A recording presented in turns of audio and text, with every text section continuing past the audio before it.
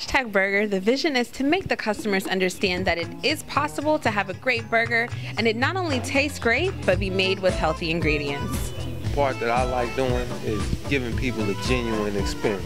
The reason I like it here is that, you know, we make it fresh, it's fresh, extremely clean back there, clean, like an environment. And he really stresses that and really stresses like do it like how I'm saying doing because I want the people to get exactly that.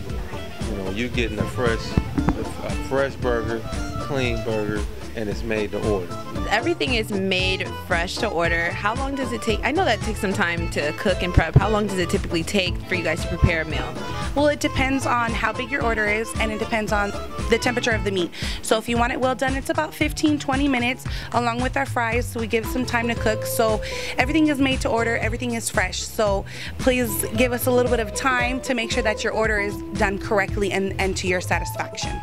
Well, I, I, actually, I was a member of the co-op before I purchased Hashtag, and so I'm really anxious to get the co-op up and running because one of the things using organic products, it tends to keep us sort of busy and running around to a lot of the local markets that are moving from place to place.